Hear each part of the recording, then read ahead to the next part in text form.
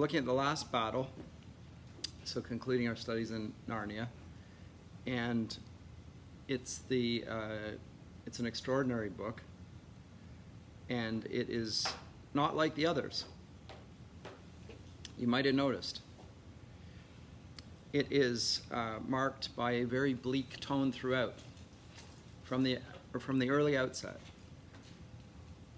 and it begins with the implausible situation of uh, two creatures having a conversation, one by the name of Shift, the other by the name of Puzzle, monkey or an ape, and a donkey. Um, so the bleakness of the tone, I want to note seven things about it, eight things about it that are um, noteworthy and, and actually in many ways uh, unique compared to the other seventh book. This is the seventh of seven uh, chronicles. Uh, here the tone is bleak and it does not stop being bleak. It is um, without relief bleak. And it is very dependent on something that he's not using elsewhere as a means of expressing his message, and that is he uses irony irony which requires us to see beneath the surface, irony which entails a discrepancy between what appears and what is.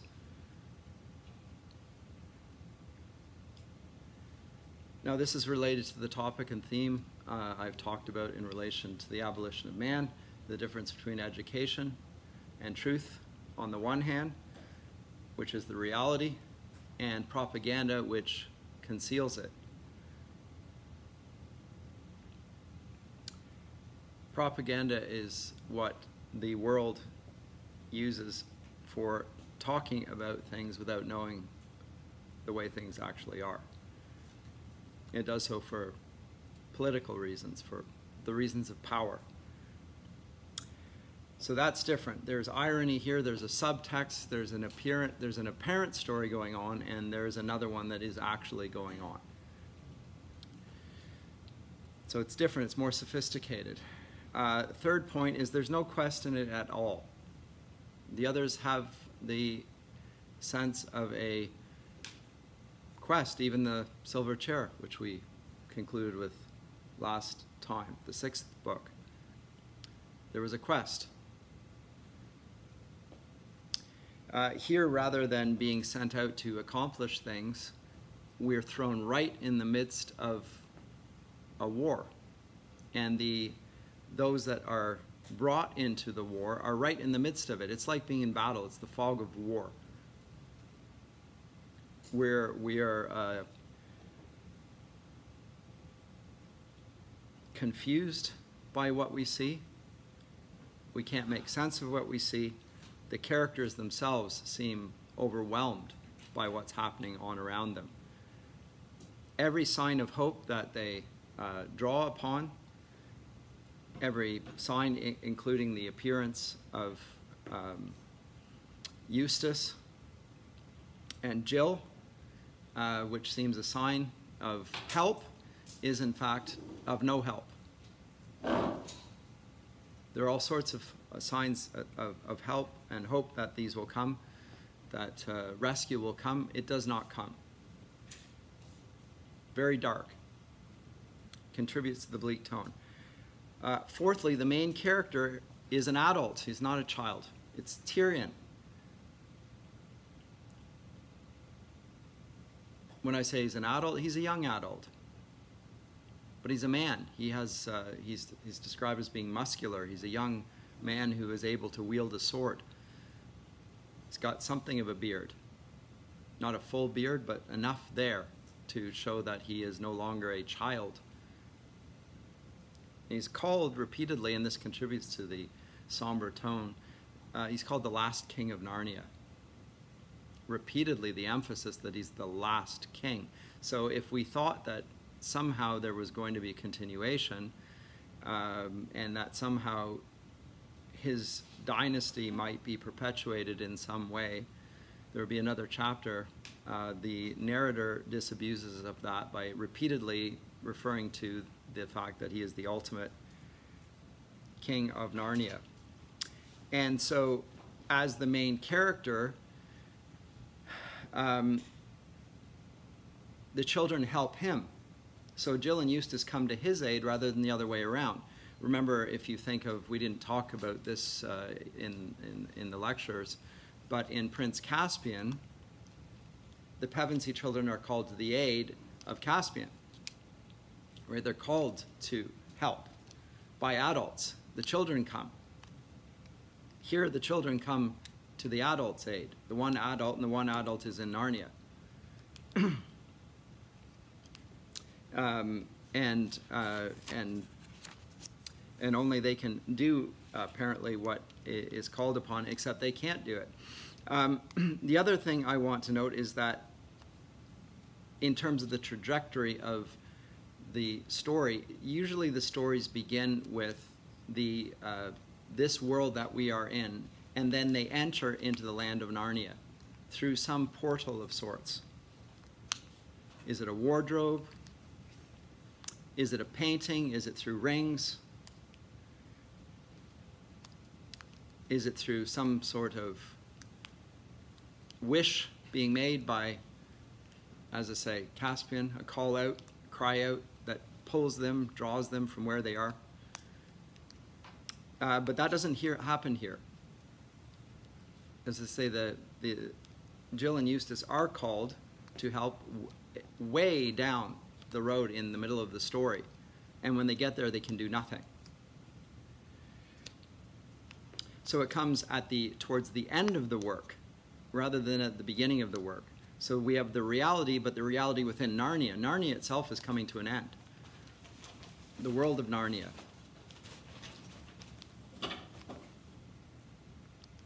And only at the end of it do they then leave Narnia, and how do they leave it through, again, another implement? What is it? It's like a tent. And it's a dark place, and nobody wants to go into it. It seems like it, uh, everyone who goes into that is going to die. It's a means, it's a means of death. And that appearance, which seems to affect only those that get pushed into the tent, nonetheless holds true for everyone. So again, this is, and this is the seventh mark of distinction, uh, everyone dies. There's no happy ending in, in, uh, in Narnia if everyone ends up dead, and they do. They all end up dead. And until they're all dead, Aslan does not appear. This is the eighth thing. Aslan does not appear until they are all dead. There are calls to, for Aslan to come. The children who have been acquainted with other adventures are used to Aslan coming in some way, providing help in terms of uh, last time we saw the four uh, signs that they are to follow. Here we get from Aslan silence.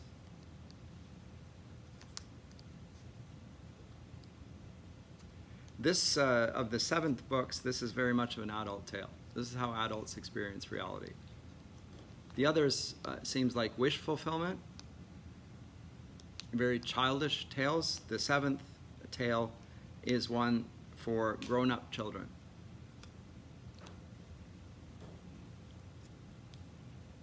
Uh, I mentioned last time this really good book, Planet Narnia by Michael Ward.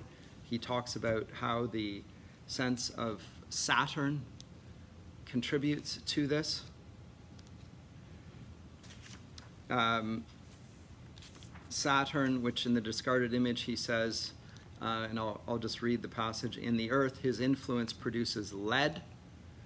In men, the melancholy complexion or temperament melancholy, uh, I'll, I'll just read it and then I'll comment. In history, disastrous events. In Dante, his sphere is the heaven of contemplatives. He is connected with sickness and old age. Our traditional picture of Father Time with the scythe is derived from earlier pictures of Saturn. A good account of his activities in, is in promoting fatal accidents, pestilence, treacheries, and ill luck in general, occurs in the Knight's Tale, he is the most terrible of the seven and is sometimes called the greater infortune, infortuna major. If you recall back in the silver chair, we saw Father Time lying down.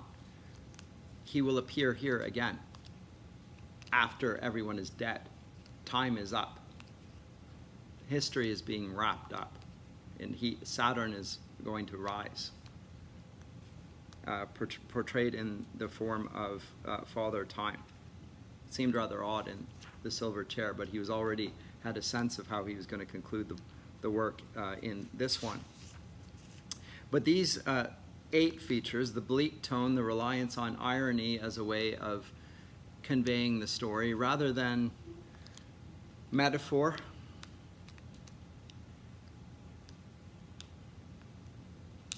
Uh, there's no quest we're in the midst of realism. We're overcome by events. We have no sense of perspective. There's no guide. There's no map. There's no leader. The leader himself has no idea what's going on. People call and cry out to him for help. He has no way of guiding them. He himself needs to cry out for help. When he cries out for help, he is not answered.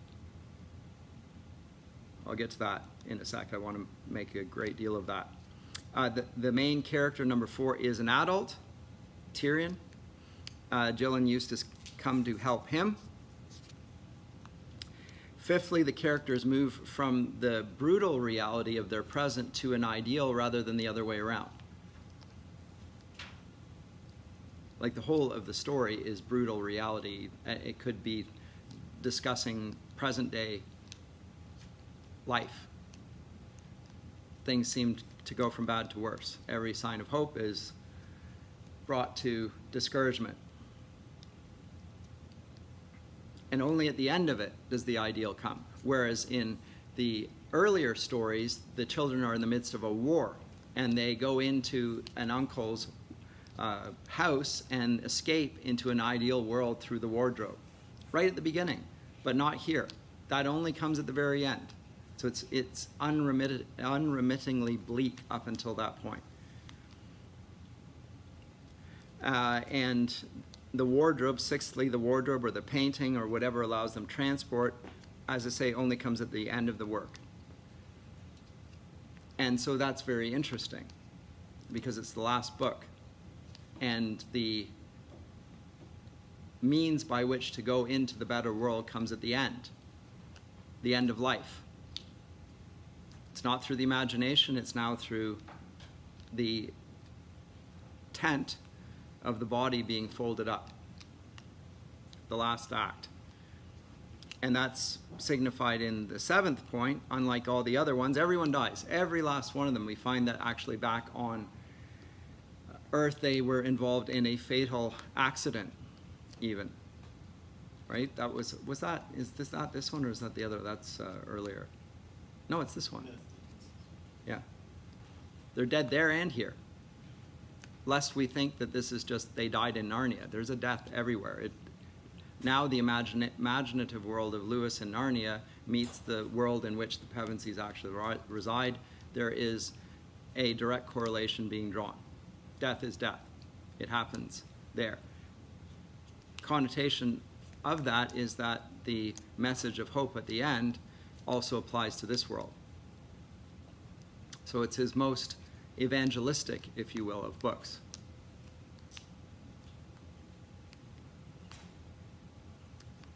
Broadly misunderstood, some people object very strongly to the fact that the children are killed off and everyone's killed off. Philip Pullman hates it. And uh, finally, as I say, in this book, unlike all the others, Aslan does not even appear until it's all said and done. It's over. They're dead. Then Aslan comes. So those features, those are the ones that I think are noteworthy about the story. And now let me say something more about this. And, and note the repeated reference to cold. This is a very cold world. Everyone is shivering cold from poor Puzzle having to jump into the cold water at the beginning and, uh, and Shift, the monkey, doesn't want to go in. Note the uh, allusion to Shift as a trousered ape going back to Lewis's reference in The Abolition of Man to his contemporaries, men without chests. Uh, uh, puzzle, uh, or rather shift, says that his chest is weak. Right? I can't go into the water. You know me. My chest is weak. You do it. And of course, they're both, they both have weak chests, actually. They're both wheezing. Can't handle it. And they put the cloak of the lion over top of them. Again, the theme of deceit. And there's an irony. People come to worship a false Aslan in that form or also in the uh, terminologically in Tashlan, that perhaps God is character it has changed. After all, he's not a tame lion. Can he not do what he wills? Can the God of uh, grace not also, because he's God, decide that he is going to be brutal because he's God? The characters themselves are in some doubt because they look at the events of the world around him, and even Tirian, the last king of Narnia, wonders. Perhaps it is so.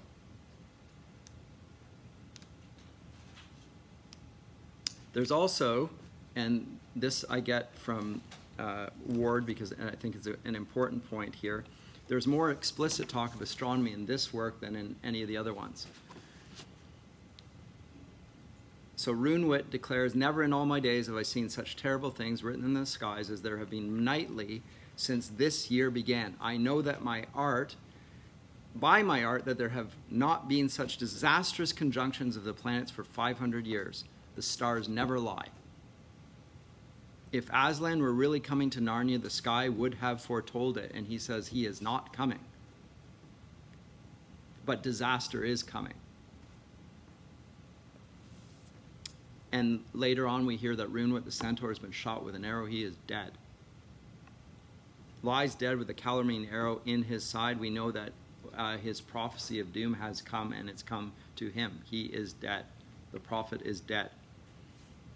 And when he said Narnia is no more, he said it for astrological, astrological reasons. He's read the stars, the stars have foretold the end. Now I'll, I'll read Ward here. As the entire Narnian cosmos disintegrates, Father Time blows a croning threnody on his horn with a note high and terrible. It is doubtless a goat's horn, for the tragedy, literally the goat song, of Narnia's destruction has been wrought by the astrological goat of Capricorn, the zod zodiacal house over which Saturn presides. This is his hour. Saturn overthrows Jupiter, the sign of whose house Sagittarius is a live centaur aiming a bow and arrow. Roonwit's death and the manner of it indicate that the kingdom first trumpeted six books earlier in jovial triumph has finally collapsed into saturnine ruin. So, a very dark end to the book. And so what does Lewis say about the uh, what in Scripture uh, Paul calls the last enemy? The last enemy is death. Because here we have death, and everything is put to death, comes to death. Uh, in miracles, Lewis notes that death is the great weapon of Satan, but it's also the great weapon of God. Death is also God's drudge. He serves the Lord. Death is given to Adam and Eve and of course thereby serve Satan, but also as a means to uh, drive them towards himself, to faith in himself. He serves God. He also serves justice. In Lewis's view, no evil can be wholly evil because existence is a good. He gets this from Boethius, this view, by the way as long as there's life, as long as something exists even, there is goodness because existence itself is a good.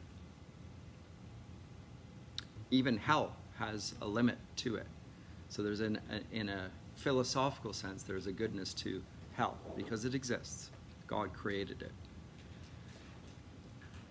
So when the kingdom of Narnia is brought to its end, Aslan or Tirian makes good use of the constellation of Saturn by uh, seeing things that he before could not see. He becomes contemplative. Remember when I said at the outset in uh, when Lewis is speaking about Saturn in the discarded image, he talks about it being a place for the contemplatives and also for the melancholic and also imbuing the spirit of tragedy. These are traditional associations. Academics tend to wear black, tend to be, you know, the Dr. Faustus type. They, they are melancholic in temperament. And also, although not in our day for various relevant reasons, uh, associated with wisdom. Today, more often associated with uh, falsehood. But um, he sees things that he could not see before. And what does he see? He sees that the horrid thoughts that he had, which is that all things are coming to an, an end, may nonetheless be Aslan's will. Though he cannot penetrate why that might be. So the terrible uh, sense imbuing this entire work of doom, of, of bleakness, of tragedy, is a possibility for a Christological meditation on Tirian's part. That in the midst of his desolation, and he will be abandoned, that God is present to him in a strange way. And this is a favorite theme of Lewis in his works. You'll find the same thing next semester when we, if you're with me, when we go to the uh, sci-fi trilogy. Um, Ransom, Edwin Ransom, who's the hero there, is also abandoned. He is on his own. He has no sense of what to do. We saw this actually in the in the in uh, the silver chair as well. The children did not know quite what to do. It was not obvious to them. They're, they reasoned about it, they thought about it, and in the end, all they had to rely on is the words that Aslan had given them. And the one who is the figure of wisdom there is this silly gardener figure uh, whose name was uh, Puddle Glum. Now he's glum. He's a melancholic figure. He's watery he's morose, he's somber, he never sees the bright side. And, and, that, and he makes, a, a, a, actually, according to Marsh-wiggles, he's, he's very optimistic, according to their lights. But I mean, we're laughing because everything that he sees is doom and gloom. And yet, he is the one who is most uh, like what we find the entirety of the last battle to be like. So he is the adult in the room. And he will not, despite all appearances,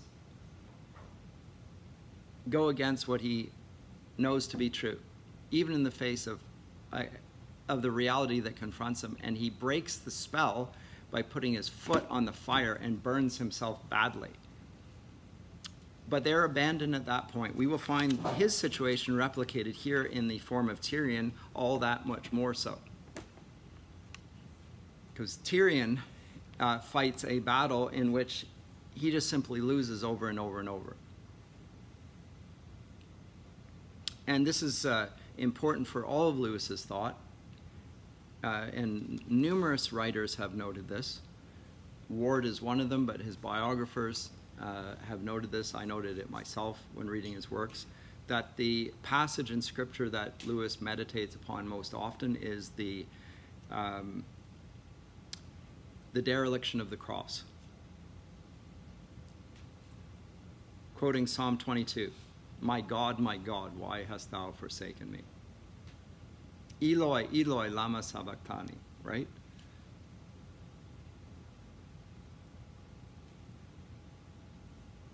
It's all over Lewis's corpus of writing in his apologetics works, in his uh, academic works, in his literature.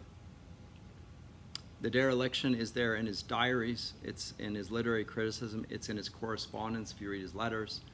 He has a sense of being abandoned in the world in which he lives. The men around him are traitors. They've all turned their backs. The faithful are few in number, and it seems hopeless. The battle seems to be lost. And yet,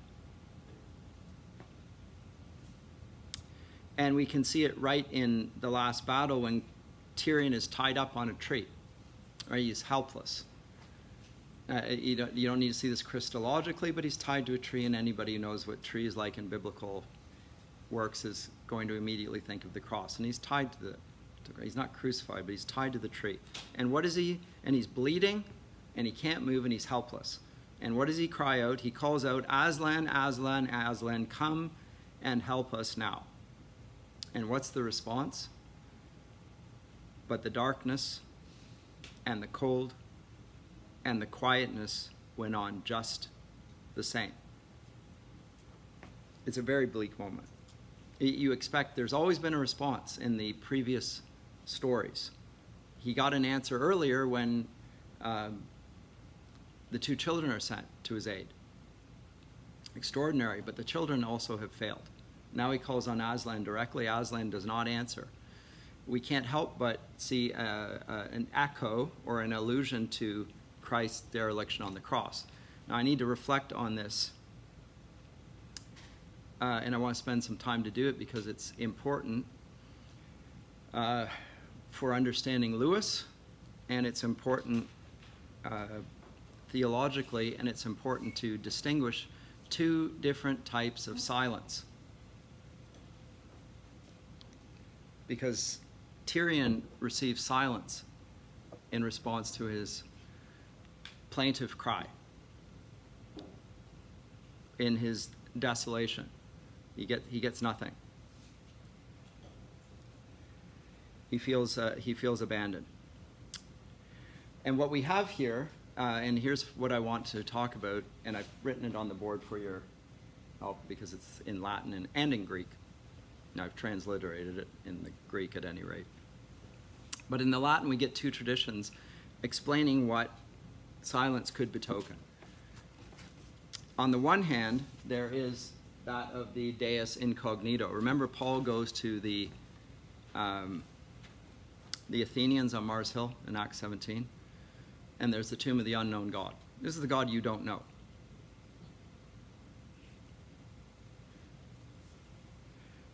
And on the other hand, there is the Deus absconditus, the God who's hidden. I want to reflect on this for a few minutes, and I'm going to tease it out, and I'm going to actually I'm going to spend a few minutes on it because it's I think it's very important. Um, when the uh, uh, Roman soldiers conquered Jerusalem in 63 BC, and they went into the Holy of Holies, they desecrated it. They were shocked to find that there was nothing there. They thought there was going to be, as in the temples of the pagans, they would find all the treasures piled up in the vault right at the center of it. They found it was empty, there was nothing there. It was a bare room. The most zealous of all religious people in the ancient world, they caused the Romans no end of hardship and frustration. They couldn't break these stubborn people. Um, they had nothing. Where God was, there was nothing there. That, that tradition of the, of the absent God uh, gets picked up in medieval thought. It gets picked up in two ways, these two ways. They're seemingly similar on the surface, and, but they could not be more different.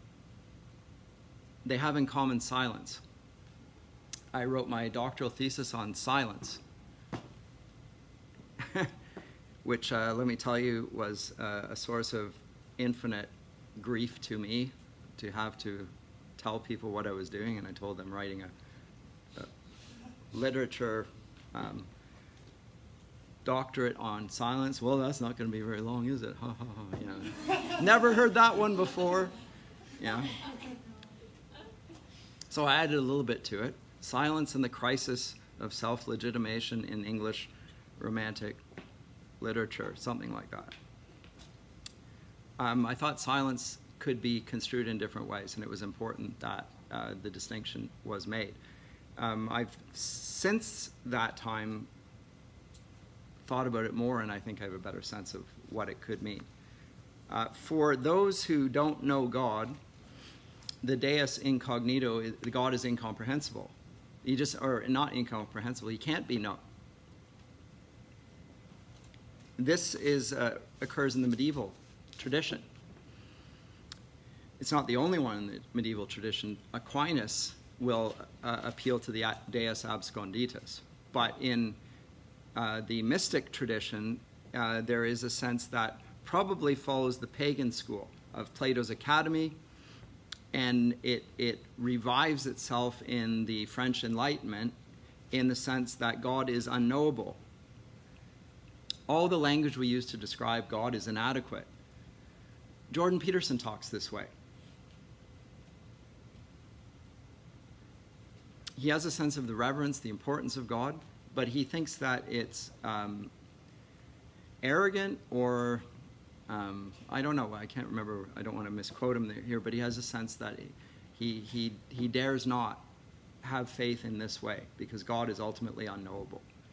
So he falls within that tradition. Now, that tradition in uh, the uh, in modern times expresses itself in a sort of fundamentally pessimistic, cynical, and Darwinian worldview.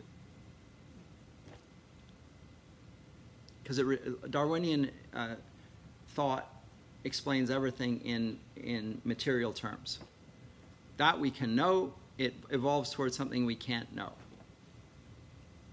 Religion is our attempt to grasp out to God. It's a, it's a plaintive cry out, and the cry is never answered. But it's very pessimistic, it's very cynical, it's particularly cynical about those who adhere to the tradition of the Deus absconditus, who interpret silence rather differently.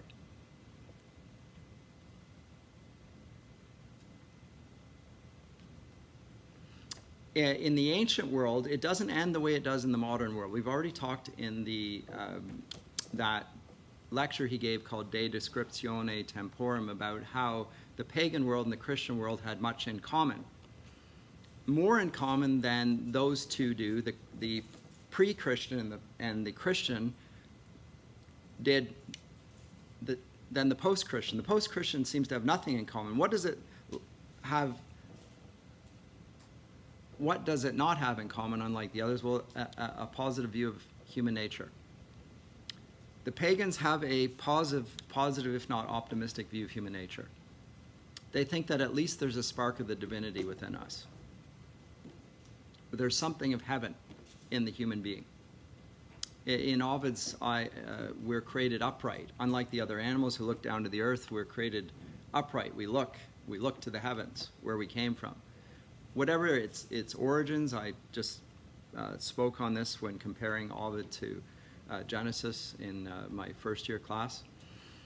Uh, however different they are, they still have an optimistic view of humanity and also an optimistic view of human rationality uh, and, and its utility. Plato did not have a low view of reasoning, neither did Aristotle. They also thought human beings were distinct from the other animals. In Darwinian thought, we're all animals. And the pretension to be more on our part is just that it's pretension it's arrogating something of the divine to us that we have no capacity to understand because the divine is beyond our capacity to know. So it's just a power move on our part. You, contemporary thought is littered with this idea, based on the idea that God is unknowable. with along with that, they'll deny that Scripture is the revelation of God because of God. Of course, God could not speak and hasn't spoken.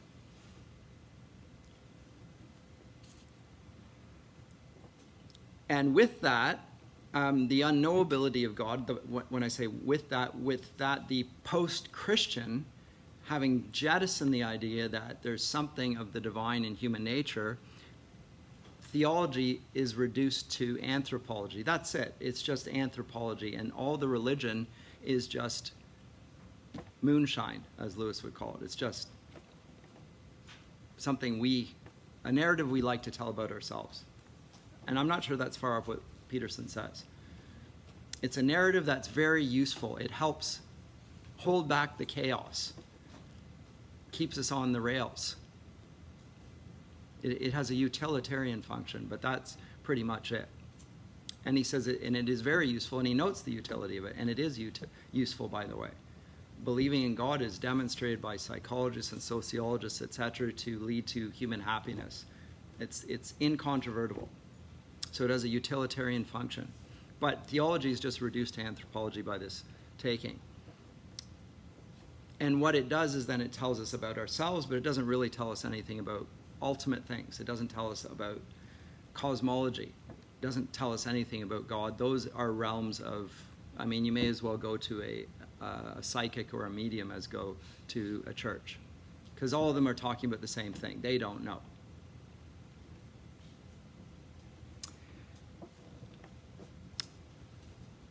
So, uh, that needs to be contradistinguished with a, a Christian view. Now, what's the Christian view? Well, I've just identified it as this view of the Deus absconditus. And what do we mean by this then? By the way, in the, in the pagan account of, of Ovid or, or of, of Hesiod, uh, creation is already a kind of fall. Because we're separated from God just by chance, chaos, accident and there's a little bit left, but it's already a fall. We're no longer holy, divine, we just have a little bit of the divine in us. It just happens. So there's already a fall, it happens. There's no moral transgression, it's just something that happens as things change. That's not the Christian view. The Christian view is given in Scripture. There is a fall that takes place as a result of a, an act of disobedience. So it's a moral transgression that brings about a fall. Not a, it's not the product of creation itself. Uh, what's the difference there? And, and by the way, the attempt in the pagan world to regain that is called enlightenment. How does that enlightenment take place? It takes place through means of philosophy.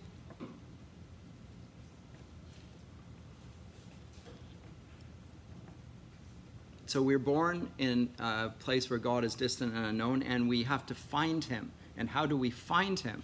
We find him by focusing on what is divine in us and shutting out the bit of us that's not divine. What's the bit that's not divine? The bit that's not divine is the material. We focus on the soul. Remember, the view of the ancient world is that, that the soul is imprisoned in the body. The body's like a jail. We got to get rid of that purify it. So they have a, um, in, and this is picked up in the early church in a heresy called Gnosticism.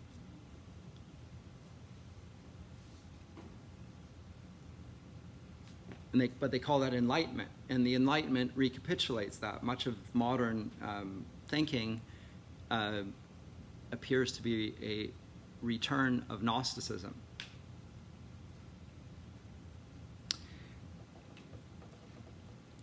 Uh, Martin Luther comes upon this approach, and he calls this a theology of glory, a theologia gloriae.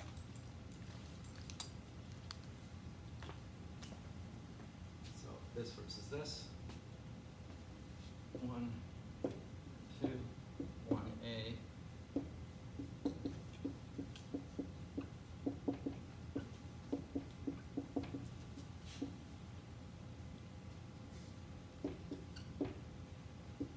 Whereas there's another sort of theology, which is the Theologia Crucis, theology of the cross. The theology of the cross reveals to us not that God is unknowable, but rather that he's hidden.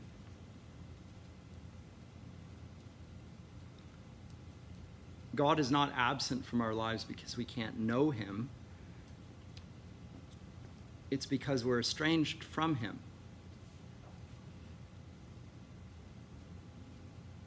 It's not an epistemological problem.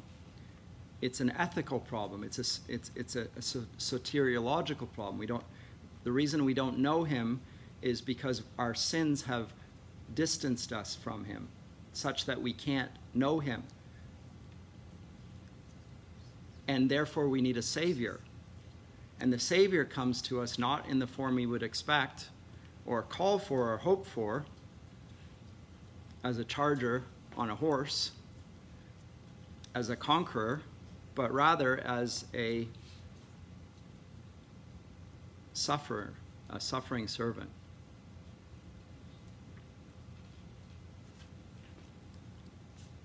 So we don't fall out of remembrance, we fall, we've fallen out of favor. God is hidden from us, but it, he's not unknown to us. In fact, in Romans 1, Paul says that everyone knows that God exists. So they do know. And yet, they flee from him, and therefore they're without excuse. They deny. In unrighteousness, that's what it says. Go to Romans yourself. They repress they suppress the truth in unrighteousness. So they know, but they deny it.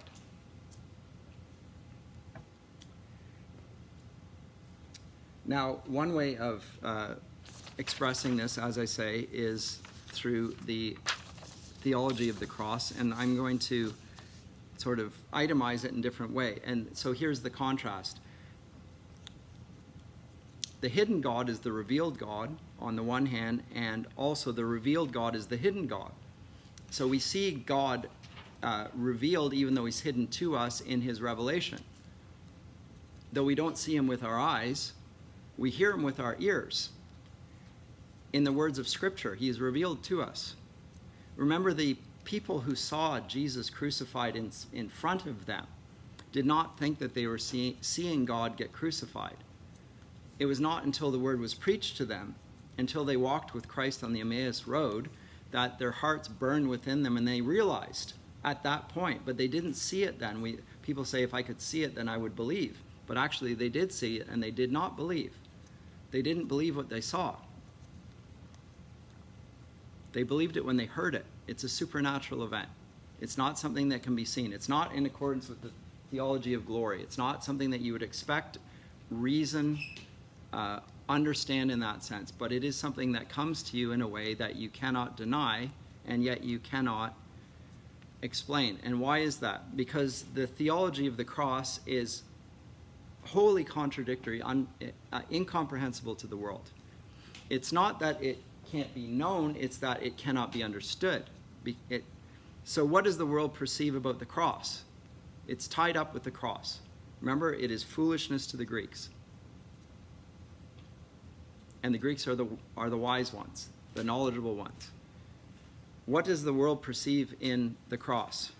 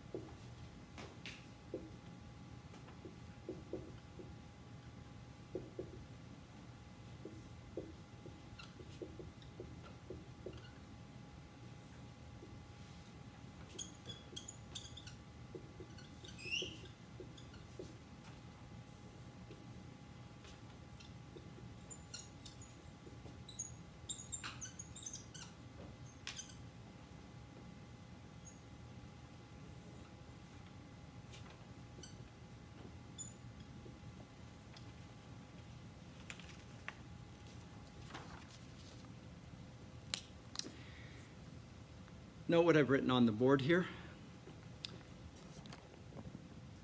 The theology of the cross involves the great exchange, what theologians call the great exchange.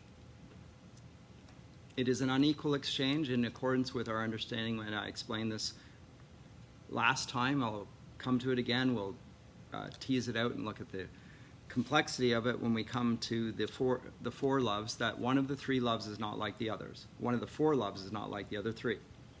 And that is the form of love that we call agape love. It's unmerited favor. There's more to it than that, however. It's true. The first three loves are merited. We, that we love things because they're lovable. Christ loves the unlovable. That's true. But the great exchange is that not only do we get a love that we don't deserve, but we get a lot more than that with it. But the world never understands it. Why? Because at the cross, the world sees shame. There is only shame at the cross. It's just another naked Jew crucified in Rome, in Rome, outside the gate of Jerusalem, outside the city walls. That's what they see.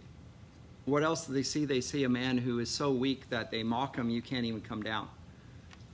You said that you could raise the temple in three days, you can't even come down from the cross. They see a man who is helpless. As I say, shamed. He has no clothes. The Jews don't expose their private parts in public. The, Ro the Romans might in bathhouses, the Greeks run around at the Olympian Games and so forth. The Jews don't do this. They don't expose themselves. They do this to humiliate them. It's an example. Right? All bullies do this. We make an example. This is what's going to happen to you. You go after somebody, you put them down, and everybody else falls into line. This man claimed to be king. We'll show you what Rome does to those who pretend to power. We've got the power. There you go. So shame, weakness, it appears folly to the world. What did he die for? Judas is outraged. Peter is outraged. I'm going to go to the go to Jerusalem and I'm going to be turned over to the elders and priests and I'm going to be crucified. Peter says, You're not going to do that. He says, Get behind me, Satan. Peter doesn't get it. This is a, but from the world's eyes, this is the most foolish thing he could ever do. What else do we see? Condemnation. There is nothing worse than uh, being crucified. Roman citizens are not allowed to be crucified. It's a sign of, of the, of absolute scandal and shame. It's reserved for the very worst in Roman society. You crucify them. Perceives sin. Who, who else gets crucified besides sinners? Criminals. He's a bad man.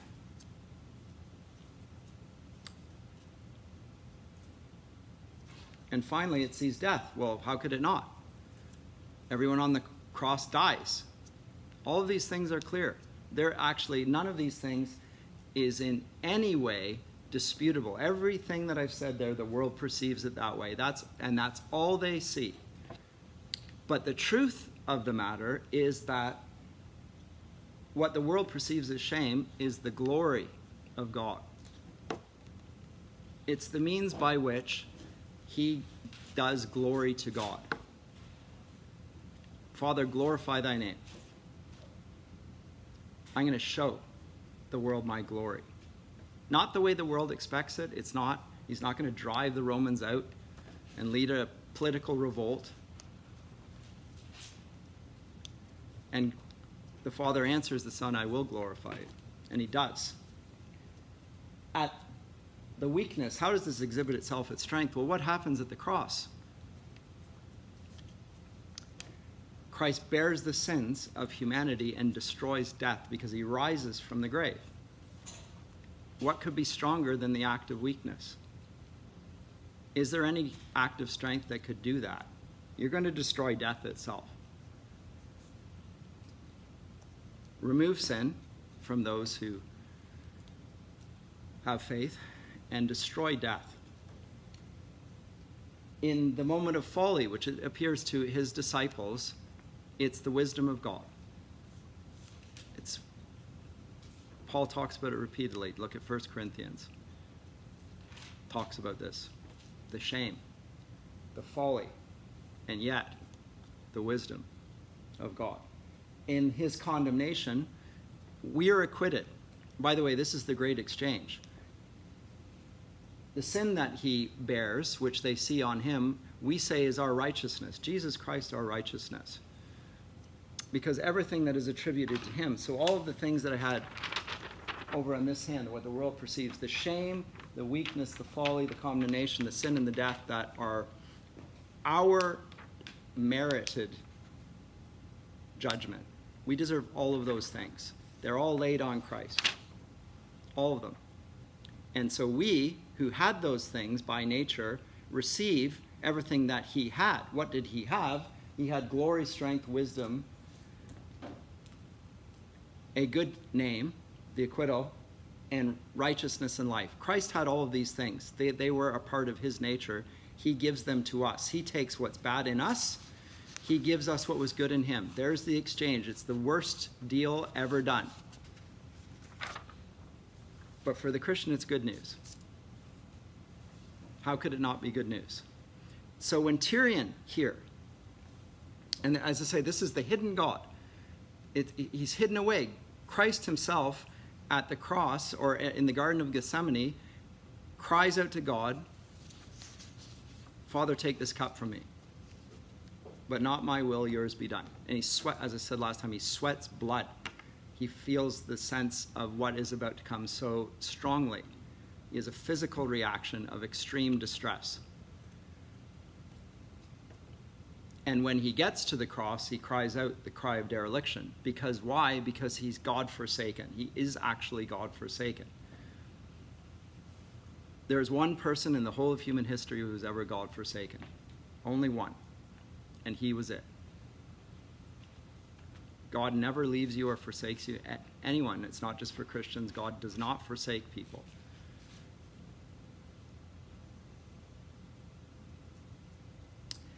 What's the response to Tirian? He called out, Aslan, Aslan, Aslan, come and help us now. But the darkness and the cold and the quietness went on just the same. Tirian persists. What does he say? Let me be killed, cried the king. I ask nothing for myself, but, but come and save all Narnia. And still there was no change in the night or the wood. But there began to be a kind of change inside Tirian. Without knowing why, he began to feel a faint hope, and he felt somehow stronger. It's immediately there. There's no response, it's just silence. But he is somehow in that moment of awareness that there will be no response. So he felt abandonment. He, it was followed by a sense of self abnegation the awakening of a contemplative faculty and ability to see something he couldn't see before or perceive it. So, by the way, if you can't see these things, you need to shut your eyes to what's going on in the world and you need to open your ears. The gospel is preached, you hear the word. This is the, this is the emphasis on preaching. Why do we emphasize preaching? Because people hear the word and they can see with their mind's eye, if you will, what they or the eyes of their hearts, however you want to express it, what they can't see with their eyes. And that gives them a strength. So there's a kind of change. He doesn't know why. It happens somehow. But it's not nothing. And he receives a gift of insight at this point. And with that, there's, there's nothing quite there, but he has a conviction, as it says in Hebrews uh, 11, a conviction of things not seen. But there's a conviction that comes upon him, which was not there before.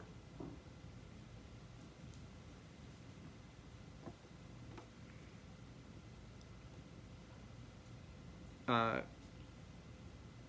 this is the highest condition of the human will when not seeing God, not seeing itself to grasp him at all, it yet holds him fast. It's obstinacy in belief, irrespective of everything around him that contradicts it. just like Puddleglum. Puts his foot down on it. Burn it. And that breaks the spell. There's no spell broken here. What does he say? He says, I give myself up to the justice of Aslan. In the name of Aslan, let us go forward. I serve the real Aslan. And he says, I will take the adventure that Aslan would send, for we all are all between the paws of the true Aslan. Aslan to our aid. And likewise, Jewel, the uh, unicorn. They resolve together, both faithful now. And they see that the stable, it might be the door to Aslan's country, and we shall sup at his table tonight. And so they are resigned to what will come, and yet they're hopeful to the end. In, I don't know if you've read The Problem of Pain. Do you do Problem of Pain in uh, Professor Davis's class? Okay. So I don't do it here for that reason.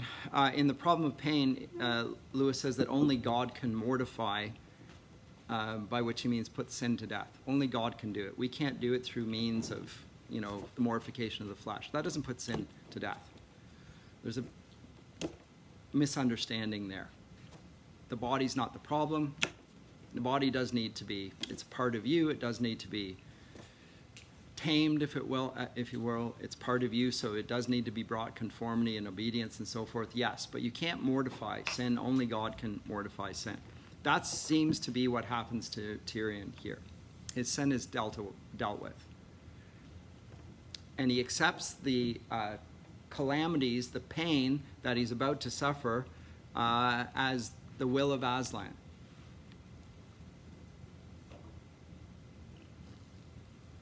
And what is the result of this?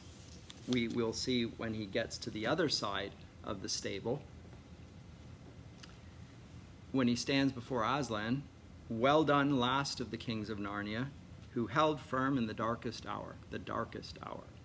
This is the darkest hour that was ever uh, known in Narnia. Uh, we find something similar in the character of Emeth. Now, let me say something about this because the Calormenes come in here. We didn't talk about the horse and his boy. Um, as much as I like it, I really do like a horse and his boy. It just doesn't quite fit uh, as neatly into the themes I've put here, so I just set it aside. But Emeth is a Calormene, and the, these are the historic enemies of Narnia. And they worship another god, a god called Tash. And Tash is this monstrous bird that walks like a man and eats people. It's a god of death.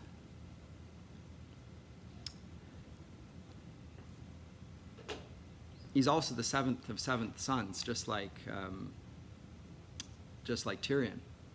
So it's interesting. And of course, David was the seventh of seventh son. The word emeth, by the way, means truth, fidelity, permanence in, in Hebrew. And Lewis knows that, of course.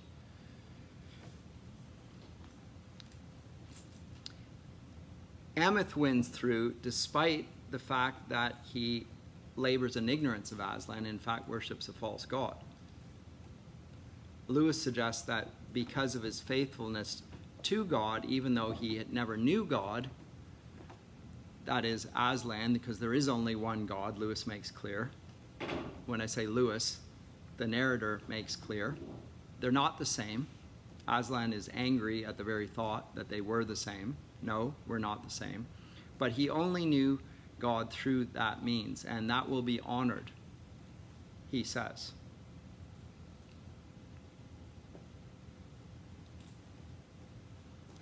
He's credited, in fact, with worshiping Aslan all along, even though he didn't know it. Now, Lewis, it seems to me, steps out on a precipice here, and I find no warrant for what he says in Scripture. But he's, he's dealing, in a sense, with what I've just talked about, in the sense of the Deus Absconditus, and also with the Theolog Theologia Crucis. They think they're worshiping this God. They're worshiping God faithfully, Therefore, they're worshiping the only God that is can be worshipped faithfully. he is not promoting Tashlan or syncretism. He is not saying, and I don't think this, by the way, is uh, with Tashlan or even Tash. He is trying to draw an analogy with Islam. I don't think that's what's going on here. It's a heroic people uh, somewhere from the Middle East, so we associate it. We, it must be Aslan. They have scimitars and so forth. So we could come to that conclusion. But again, um, Islam is not going to be worshiping an idol either, like Tash. So it's a constructed thing. I don't think it's meant to be a direct correlation. I don't see any signs that Lewis is uh, thinking that here either. He's certainly not saying Islam and Christianity worship the same God. That's obvious from the text.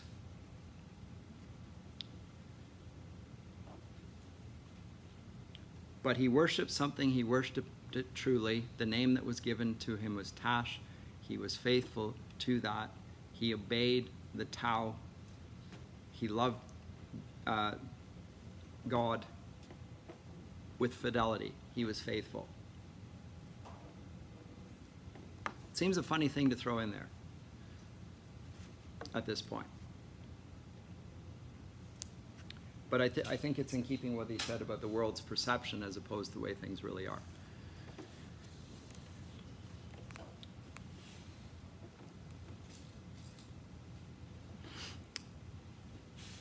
Uh, there are means by which uh, Tirian is helped. By the way, there's a few that come there when uh, Tirian early on cries out, O Aslan, O Aslan, if you will not come yourself, at least send me the helpers from beyond the world, and Eustace and Jill come.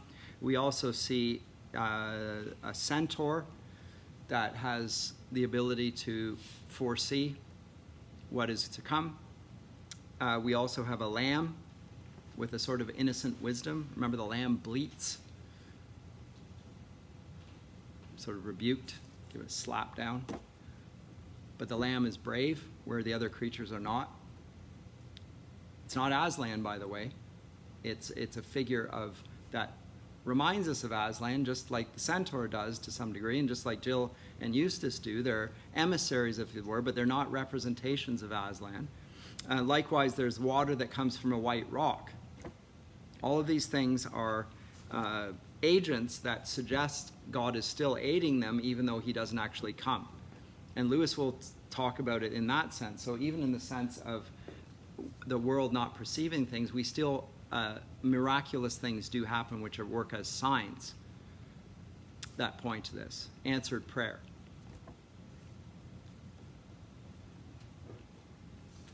But the Aslan proper does not appear till the end. Uh, there's a great phrase in here. Uh, th this is the uh, most direct theological statement that's made. He says that a noble death is a treasure that no one is too poor to die, to buy. A noble death is a treasure that no one is too poor to die. To buy, I said it wrong twice. Death is on my mind. Ruined it. Such a great phrase.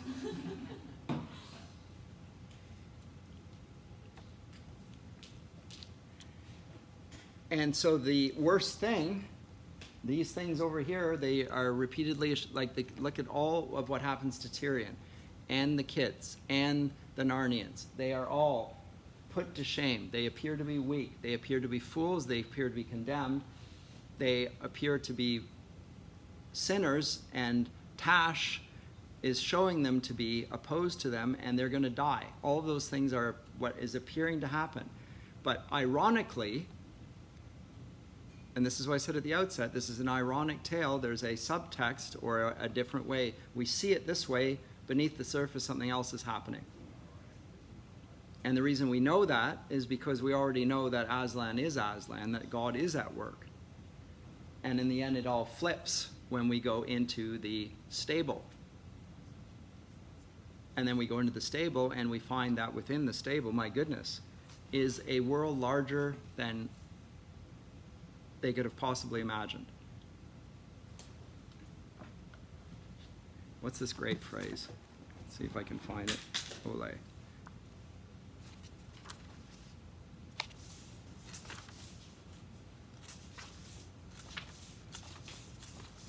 through the stable door.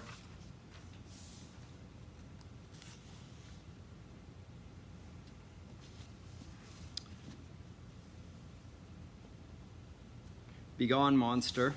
This is uh, towards the end of chapter 12. Begone, monster, and take your lawful prey to your own place in the name of Aslan and Aslan's great father, the emperor over the sea.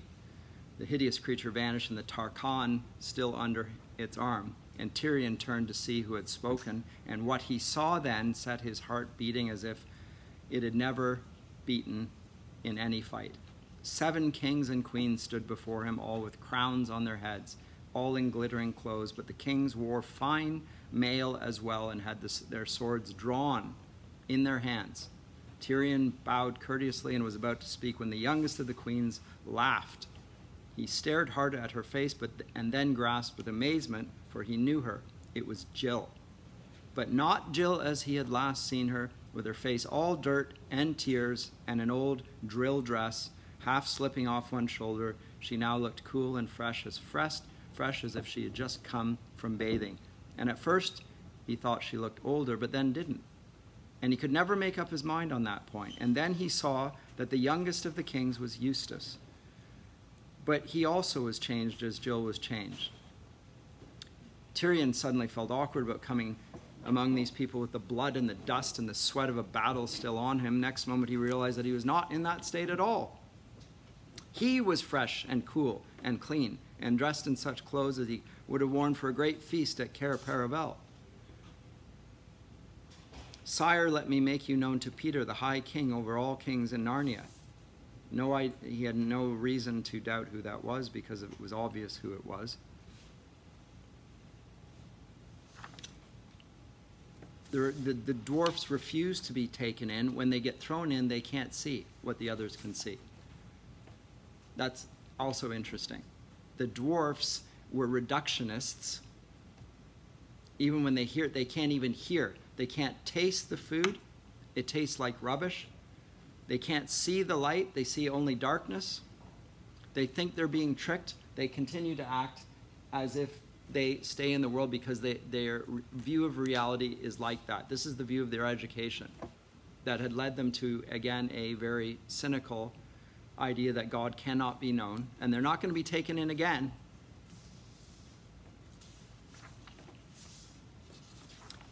So, a moment of great high comedy. Aslan himself stands before him, and Aslan says at the end of chapter 13, You see, they will not let us help them. They have chosen cunning instead of belief. Their prison is only in their own minds. Yet they are in that prison and so afraid of being taken in that they cannot be taken out. But come, children, I have other work to do. He went to the door, and they all followed him. He raised his head and roared, Now it is time. Then louder, Time. Then so loud that it could have shaken the stars. Time. The door flew open, and out they go. And where is this wonderful passage where it talks about there was once a, uh, when they're talking about the, how huge the stable is and how once the uh, king of the whole world was in a manger's stable. The whole of the universe was in that small place. Anyway, at that point, they go further up and further in. We already know what that suggests.